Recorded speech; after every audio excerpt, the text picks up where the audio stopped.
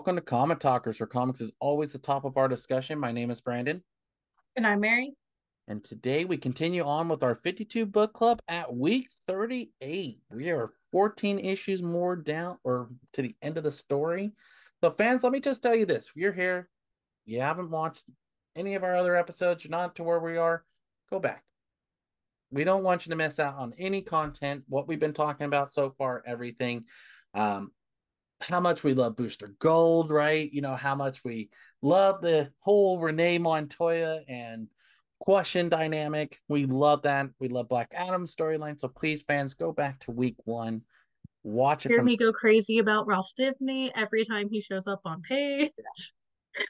And Oliver Queen running from Mary. And hear how Mary reacts to that all the time. but fans, go check it out. We made a beautiful playlist from weeks one through 37. At this point, now 38. So please go check that out so you can get all caught up to date with us.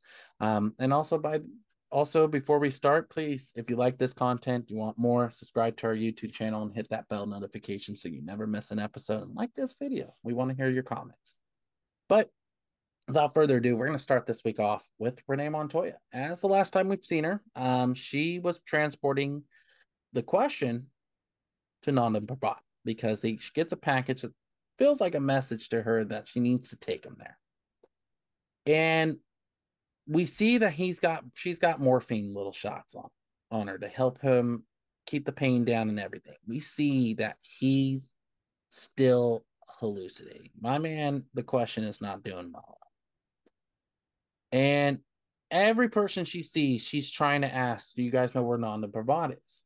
You know, and of course, none of them are responding because either they don't understand or they don't know where they're asking or where she's going. And pretty much she states, I can save him. I have to get my friend to Nanda Parbat. Now she hits hikes with one of a truck to get up the part of the mountain. And we see that she's really struggling with him. Okay, she's he's trying she's trying to get him to eat everything. He won't do it. Because if I can get him there in time, then he won't die. He'll be safe. He he'll be saved.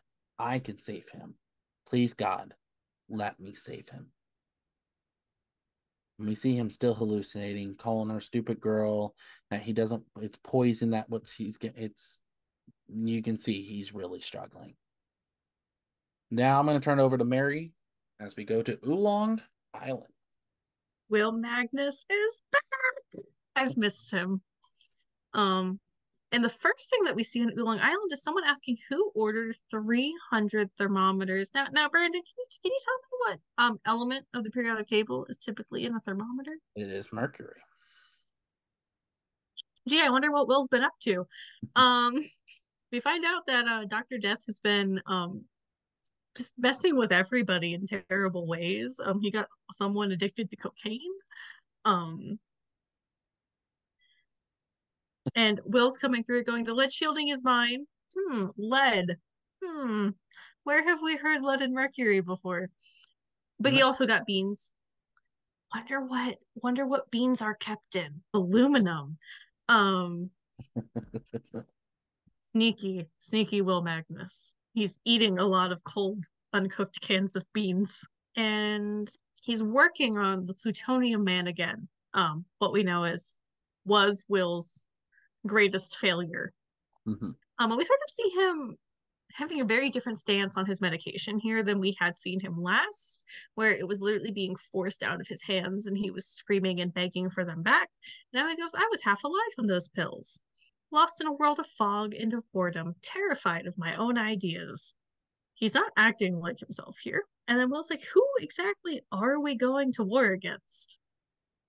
I keep missing that bit. Um, and Dr. Morrow is like, we have to make sure that you witness the ride of the four horsemen, history in the making. And Will's like, oh, the soul code that you gave me, I can improve on it. I was like, it's not something you see every day, Will. A new world order being born in fire. Doesn't sound very good. And then we sort of see them getting to witness these cybergenetic four horsemen of the apocalypse, but we're only seeing three of them. And we find that one of them already rode out before the others. And we're starting to see the scientists, even the crazy woman scientist who was so influential in destroying Will's sense of self the last time we saw them is going, oh God, what have we made? Some of the scientists are reveling in the creation of destruction, while others seem to finally have been grasping the reality of what it is they've been tasked to accomplish. But then we turn back to Charlie and Renee. Yeah, so we see on day three that she is running out of her morphine shots for Charlie. And of course, Charlie is still going berserk. Who who do you think you are? You know, you don't know nothing. And he keeps on saying the word butterflies. Now, it will play a bigger part later in this issue, so please pay attention. But Renee, we kind of get to where she gets to a local city on day four and she goes, I'm not crazy. I just want him to live. That's all I want. That's not wrong. How can that be wrong? So maybe it is selfish of me. I can admit that. I can admit that I don't want to lose another partner, another friend. And we see, and she goes, I've lost so many friends. I don't want to lose Charlie too. Charlie, we're in this together. Remember, you said we were in this together. I'm afraid of who I'll become without you. And we see that she's going through the city still asking people to give her directions to Nanda and Parbat. She's still trying to understand where it is, everything, and trying to get back to it. So, so we really open with, course, John Henry Irons.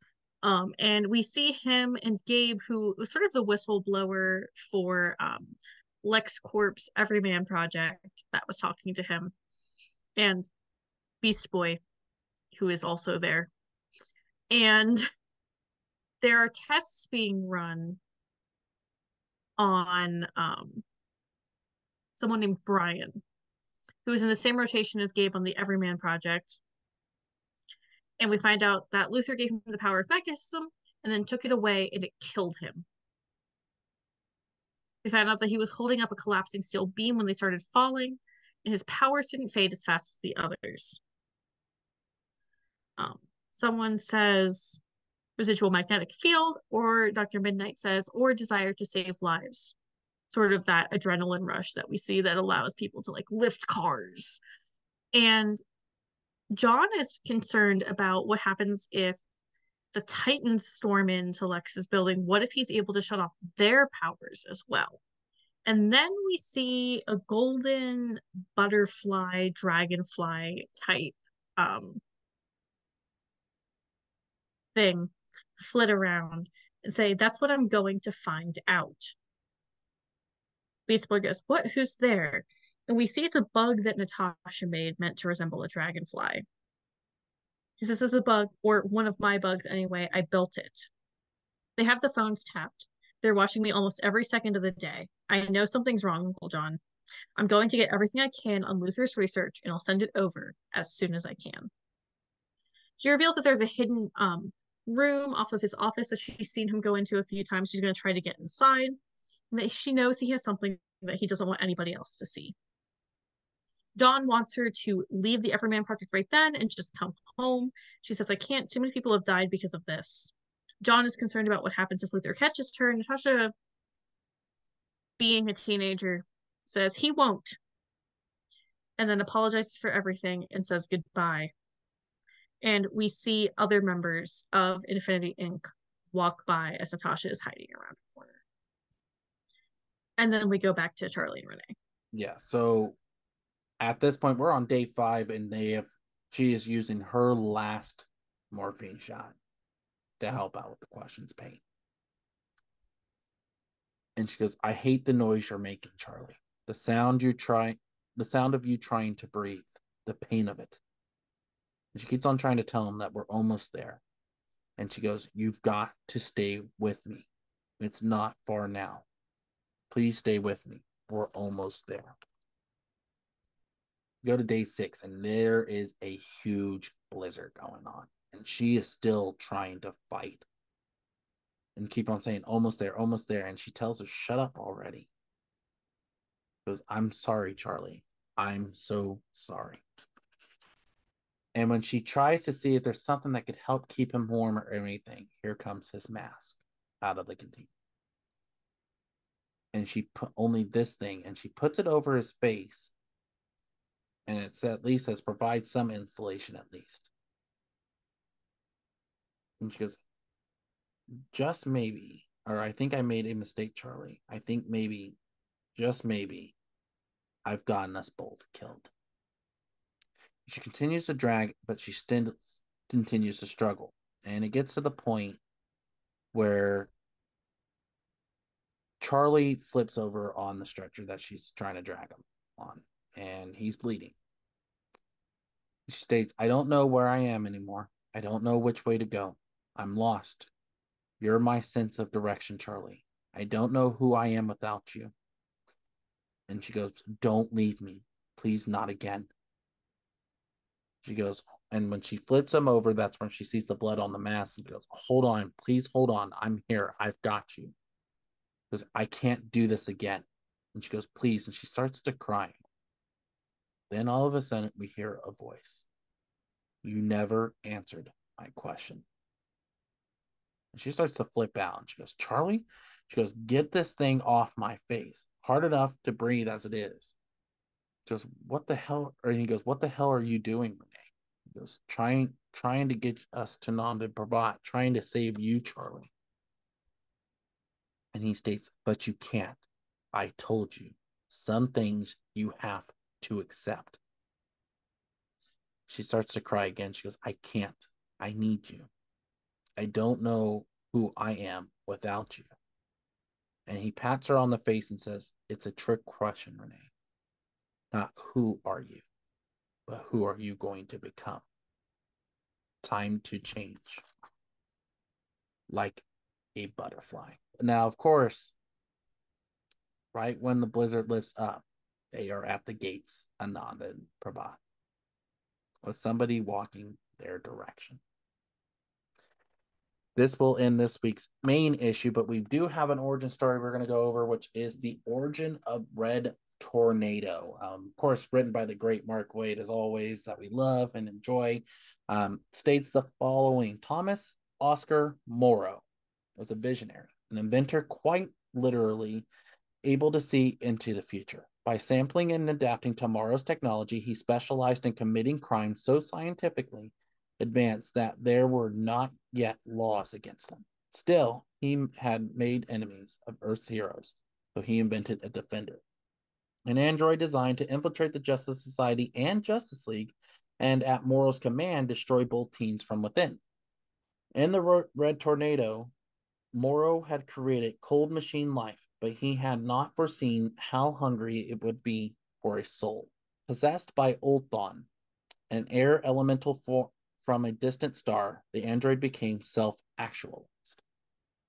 Rebelling against his murderous programming and becoming a Justice Leaguer in good standing. Morrow had given the Red Tornado its sentence, but Ulthoon gave it morality. With Bruce Wayne's help, the self deprecating tornado crafted the identity John Smith in an attempt to feel more normal.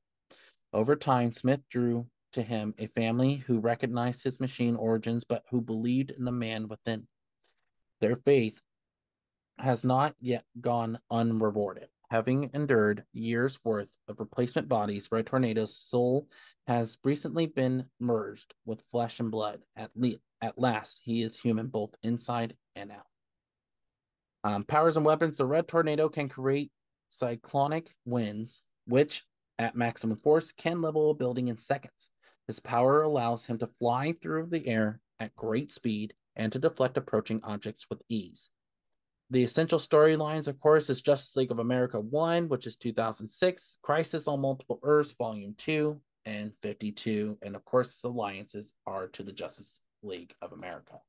Um, this will end this week's issue. Um, this will um, conclude where we're at at this point. Let us know what you think about Renee's storyline. Let us know what you think about the question. And what do you think about butterflies? Um, let us know what you think about Nat's plan to try to uncover what Lex has been hiding. Um, also, let us know what you think about the Four Horsemen and where Will Magnus is at this point. Um, please tune in to next week where we go over issue 39. Um, so please check us out. If you like this, like we said before, hit the subscribe button, hit the like button, um, hit the bell notification so you never miss an episode. Um, find us on Instagram, Facebook, and TikTok at Comic Talkers, and also listen to our normal podcast, Comic Talkers, for great comic book and anime content on Spotify, Spotify for podcasters, Apple Podcasts, and Google Podcasts. And without further ado, my name is Brandon. And I'm Mary.